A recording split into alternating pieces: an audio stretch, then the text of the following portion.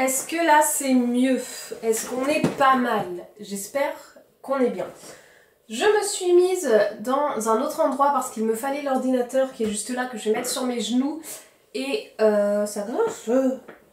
Et j'avais pas envie de tout emmener à l'autre bout de la maison donc on va faire la vidéo ici aujourd'hui.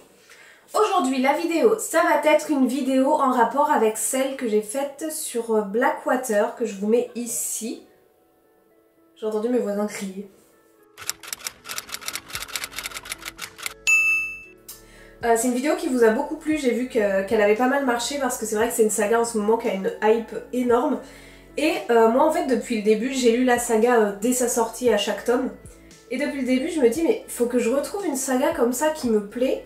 Et à chaque fois que je demande aux gens, bah, les gens n'ont pas encore lu ou quoi que ce soit ou n'ont pas pu faire de comparatif et n'ont jamais d'exemple d'autres sagas à me proposer. Donc j'ai mené ma petite enquête toute seule, j'ai sélectionné certains romans, certains livres, certaines sagas dont je vais vous parler ici. Attention, euh, je, les ai sélectionnés selon leur résumé, selon euh, moi. Je pense que moi, vis-à-vis de Blackwater, ça y ressemble en quelques, quelques petites parties peut-être, et euh, ça me donne envie. Mais peut-être que finalement, comme je les ai pas lus, ces deux sagas n'ont rien à voir et que ça marchera pas du tout.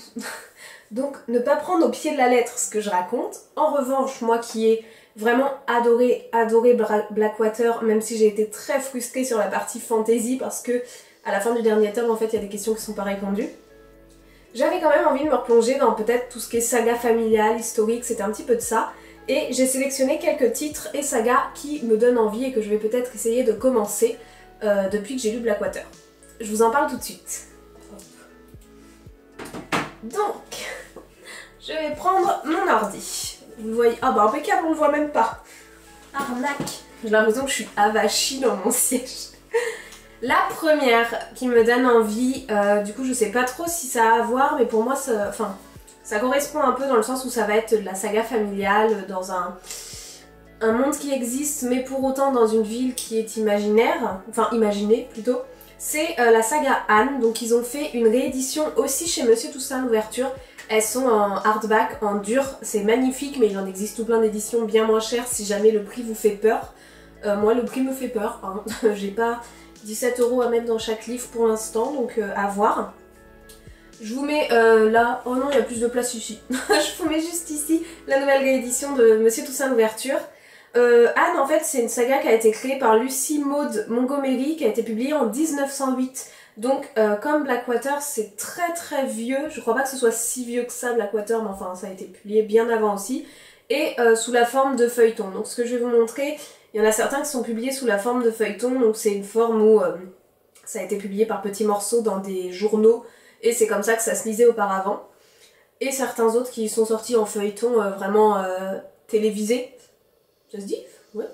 Feuilleton télévisé et qui après ont été adaptés en roman pour être relus. Donc, dans cette histoire-là, en fait, on va suivre une jeune fille qui s'appelle Anne, dans le premier tome. Euh, il y a 4... Je sais plus exactement combien il y a de tomes en tout. Et après, elle apparaît dans d'autres histoires. Mais normalement, il y a 6 tomes pour ça, donc comme Blackwater pour le coup. Et dans cette saga, en fait, on va suivre Anne, qui est une jeune fille de 11 ans dans le premier tome, qui a été euh, abandonnée par ses parents et qui a vogué euh, d'orphelinat en orphelinat. J'ai plus de batterie. Ah, j'ai plus de batterie. Qui s'est baladé d'orphelinat en orphelinat et qui du coup euh, va être euh, adopté par un frère et une sœur qui sont très âgés et qui ont une ferme et qui cherchaient à adopter un petit garçon pour les aider à la ferme. Mais on ne sait pas ce qui s'est passé, ils reçoivent cette jeune fille, ils reçoivent Anne et Anne elle est décrite comme une jeune fille qui a beaucoup d'imaginaire, qui rêve beaucoup, qui essaie de plaire à tout le monde, qui est très bavarde, qui est très solaire mais qui pour autant a derrière elle son histoire d'abandon, son histoire d'orphelinat. Donc en fait, au fil de ces tomes, et dans le premier notamment, on va suivre l'histoire de Anne dans cette nouvelle famille et on va la voir grandir au fur et à mesure des tomes. Et j'imagine qu'elle va devoir se rappeler un petit peu euh, d'événements passés quand elle était enfant et compagnie. Donc c'est vraiment le côté là, euh, saga familiale et euh, abandon d'enfants, etc. qu'on peut retrouver aussi dans Blackwater, qui m'a fait penser que ah ça peut peut-être matcher, ça peut peut-être le faire avec cette saga là. On passe à la saga numéro 2 et peut-être que le cadre va changer parce qu'il va falloir que je euh, remette la batterie. Voilà. Nous revoilà, nous revoilà, nous revoilà. C'est vraiment nul. Deuxième livre, c'est euh, Les Lumières d'hiver euh, de... de... MG Le Floch Le Floc Ah Je sais pas du tout le dire. Bref, c'est ça. Ici, c'est un roman, euh, un one-shot, hein, il me semble qu'il n'y a pas de suite. Il a été finaliste du prix du roman romantique en 2021. Donc je pense qu'il va y avoir un petit peu d'histoire d'amour. Dans ce roman, en fait, on va suivre une jeune fille qui, en 2019, a été incitée par sa grand-mère à vivre ses rêves et qui va aller dans la maison familiale, qui est une maison qui a été euh, complètement euh, abandonnée, qui est inhabitée depuis plus d'un siècle. Et en fait, cette jeune fille, elle ignore presque tout de son passé, presque tout de ses ancêtres, des anciennes générations. Et à travers cette maison, en fait, elle va découvrir tout le secret qui pèse sur sa famille et sur la maison. Et en parallèle, dans ce même roman, d'où la couverture qui est coupée en deux si je puis dire, il y a en 1923 Hermine qui vient de elle perdre sa mère elle est persuadée que va plus y avoir aucun malheur qui va pouvoir arriver dans sa vie.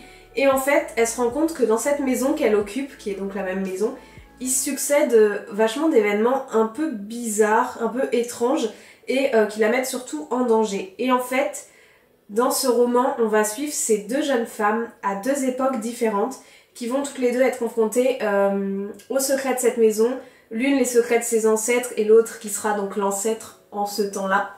Et euh, voilà, c'est deux histoires qui vont se regrouper en une. Et ça m'a fait penser à Blackwater parce qu'on va suivre différentes générations. Et dans Blackwater, on les suit pas dans la même forme, mais on suit différentes générations de la famille casquée. Et c'est dans des vieilles maisons, des maisons familiales où euh, tout le monde, tous les casquets ont toujours vécu. Donc ça m'a fait penser à ça sur ce, sur pan-là de l'histoire de Blackwater. Et il y a écrit que c'est un roman à suspense comme Blackwater, un peu historique et compagnie. Donc je pense que celui-là, il pourrait euh, potentiellement me plaire, vous plaire, à tester parce qu'en plus comme il n'y a qu'un seul tome, on s'engage pas dans une énorme saga donc c'est euh, ok. Euh, de là ce que j'en vois, je le trouve qu'embroché à 15 euros, mais si ça se trouve il a été édité chez d'autres maisons d'édition en poche et compagnie, faudrait que je creuse un peu plus le truc, mais sinon voilà. Et il est sorti en octobre 2021 donc en effet peut-être qu'il n'est pas sorti en poche encore. Le troisième roman, et celle-là j'ai hésité parce que je l'ai vu euh, en physique et j'ai lu le résumé plusieurs fois euh, à ma librairie et franchement il me donne super envie donc je pense que ça va y aller. C'est la saga des Casalets ou Casalettes, je sais pas, été anglais. Donc le tome 1, je sais pas combien il y a de tomes en tout, ils viennent d'être réédités en poche chez Folio, je les trouve super beaux. Et en fait, dans cette histoire, on est en 1937. Donc de ce que j'en ai compris, en fait, c'est une famille qui va venir euh, dans sa grande demeure pendant euh, un été. Donc c'est des duchesses et compagnie, femmes, enfants, euh, ducs, tout le monde va venir pour, pour l'été. Et donc va y avoir plein de petites histoires familiales et compagnie. Et il est écrit aussi dans le résumé que l'été regorge d'incertitudes, mais sans l'ombre d'un doute, une nouvelle guerre approche. Donc je sais pas si ça va être euh, aussi, vu, les dates peut-être qu'on va être après euh, dans les tomes à suivre, pendant la Seconde Guerre mondiale. Il est dit aussi euh, qu'il y a une place importante pour les femmes, peut-être que les hommes vont avec la guerre être mis un peu de côté, on va avoir de l'émancipation, je sais pas trop. Mais en tout cas ça a l'air d'être une saga familiale ultra sympa dans une atmosphère qui peut nous être connue, qui m'a pas l'air d'être inventée. À voir. En vrai, j'arrive pas à dire grand chose sur celle-ci, si ce n'est qu'à chaque fois que je la vois, je me dis, hmm, potentiellement j'attaque ça. Ensuite, ah ouais, une autre de même style qui me donnait super envie, c'est La Villa aux étoffes. Donc euh, là, c'est le tome 1. Je les trouve trop trop trop beaux. Euh, j'ai vu qu'il y a un 2 et un 3 aussi de sortie. Je sais pas s'il y en a que 3. Peut-être. Euh, oui, donc ça, ça me fait principalement penser aux chroniques de Bridgerton, mais aussi au Blackwater, parce que euh, la famille, elle est propriétaire d'une grosse usine de textile, voilà, et dans Blackwater, ils sont propriétaires d'une grande scierie. Et en fait, là, on va suivre une jeune orpheline euh, qui va être parmi les, serviteurs et les personnes qui travaillent pour euh, cette famille et cette usine, qui va essayer de se faire sa place. Et en même temps, ensuite, Paul, qui est l'héritier principal de cette famille, et comme ça va être la saison des balles, un petit peu comme dans les Bridgerton, va falloir qu'il se trouve une femme et patati et patata. Sauf que lui, ça ne l'intéresse absolument pas du tout. Et il a envie de se tenir vraiment euh, éloigné de tout ça. Et lorsque la première guerre mondiale déchire l'Europe et le reste du monde, il y a écrit que les habitants seront aux premières loges du conflit. Donc je pense que peut-être ces deux protagonistes vont être amenés à se rencontrer, à faire des choses ou pas, je ne sais pas. Ça me fait penser au Bridgerton mais aussi à Blackwater dans le sens où dans Blackwater on fait attention aussi avec qui on se marie etc pour pas nuire à la famille et compagnie. les Bridgerton c'est la même chose donc sur ce côté là je pense qu'on peut être sur quelque chose de très similaire.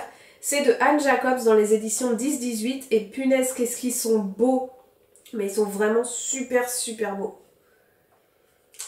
Et le dernier que je serais tentée de vous recommander, je suis avachie, mais punaise, aucun respect. Et le dernier du coup que je serais tentée euh, de vous recommander, donc c'est euh, pour le coup ce que je vous parlais au début, ça a été un feuilleton tout d'abord qui est passé euh, à la télé si je, me, dis pas de bêtises. Hein. Ça a été un feuilleton, c'était une série téléculte, voilà, les gens de Mogador et il n'y a pas... Il n'y a pas la, date de cette série télé mais c'est très vieux et ça a été réédité en format livre de poche cette année, 23 juin 2022 pour le tome 1 qui est très très très joli aussi, hein. ça franchement c'est une belle série. Je vois que le 2 aussi est sorti. Si c'est un feuilleton, je pense pas qu'il y en ait que deux, je pense qu'il y en aura peut-être d'autres, mais à voir, à faire à suivre.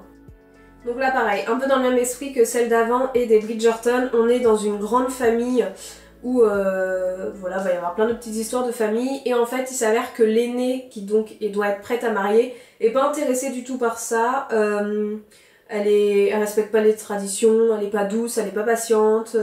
Et en fait, dans le résumé, il y a aussi écrit que cette jeune fille, du coup, elle est pas amoureuse de ce mec-là, elle est amoureuse d'un autre qui s'appelle Rodolphe et qui lui aussi est très très amoureux d'elle. Mais lui, il est le fils d'un colonel d'Empire et qui est propriétaire du manoir de Mogador. Ok. Et euh, donc, euh, vu par les autres, en fait, il est dit qu'il est, que c'est une crapule. Donc, c'est pas un homme à marier. Et en fait, quand Rodolphe vient demander la main de sa belle, celle-ci est conduit le prétendant avec fureur et entreprendre de ramener sa fille à la raison, quitte à menacer de l'enfermer au couvent. Ah Ça peut être intéressant. Vous avez vu, j'ai pas très bien travaillé le dernier, je suis un peu perdue euh, dans tous les résumés que je vous ai fait.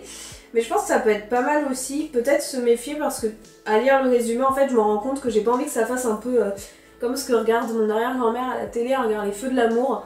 J'ai pas envie que ça fasse ça. Ça, ça, ça m'intéresse pas du tout pour le coup. Donc je vous avoue que j'ai mis un, petit point d'interrogation, mais ma foi, j'ai pas essayé, ça se trouve c'est excellent. À voir, à voir.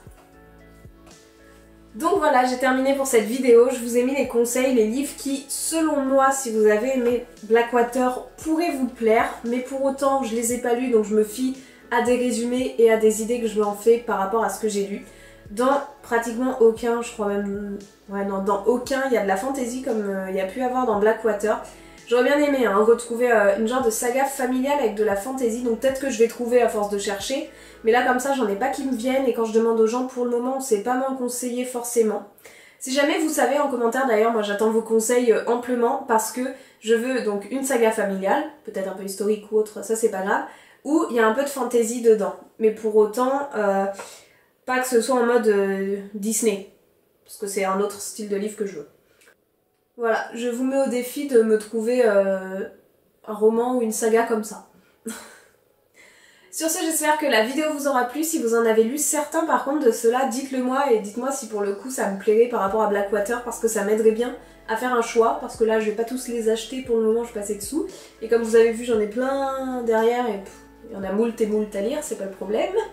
Euh, sur ce, je vous souhaite une bonne nuit, une bonne soirée, belle journée, euh, joyeux Noël. Et je vous dis à très bientôt pour une prochaine vidéo. Ciao